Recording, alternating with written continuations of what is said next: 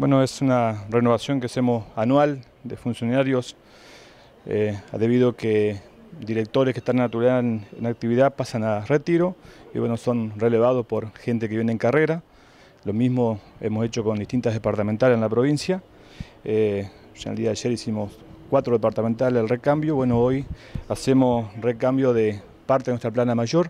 Son seis direcciones que se relevan y vamos a poner en función a los nuevos directores en este, en este acto que nos va a acompañar la ministra. Importante porque la, renovación ayuda a que los cuadros policiales que vienen creciendo en su actuación profesional lleguen a la digamos, a la cúspide del manejo de distintas áreas de la policía.